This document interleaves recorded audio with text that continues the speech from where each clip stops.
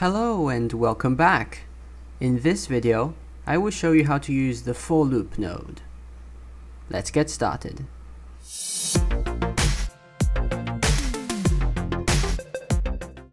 So the for loop node has three inputs and three outputs. The first input is the execution pin.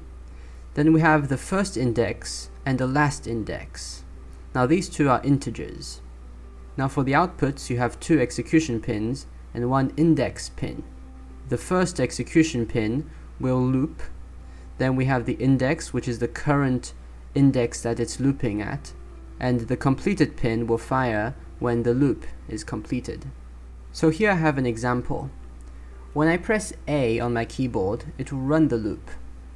And then it will loop print string and it will print the index that it's currently looping. Now here we have the first index and last index. Now this will loop the difference between the first index and the last index. So if the first index was 10 and the last index is 20, then it will loop 10 times. And the output of the index value here would be 10 to 20. Now this is important because if the first index value is greater than last index, it will not loop. So this for loop has zero-based counting. So if you're not familiar with it, it means that if you want to loop this 10 times, you wouldn't put 10 in the last index, instead you will put 9.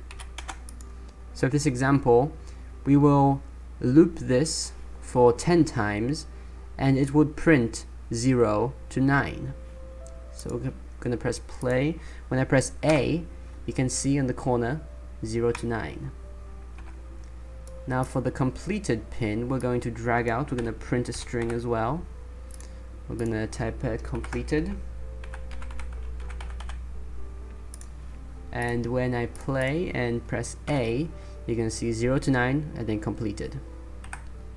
But now if you want to have a different value other than 0 to 9 but still loop 10 times then you could uh, from here you would type 10 and then you can type 20 so if we play this that would loop 10 to 20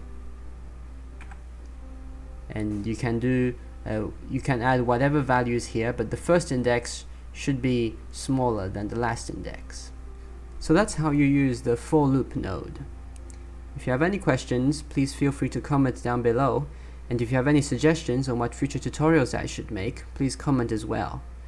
Feel free to check out my patreon page in the link below don't forget to like, share, and most of all, please subscribe, and I'll see you in the next video. See you soon.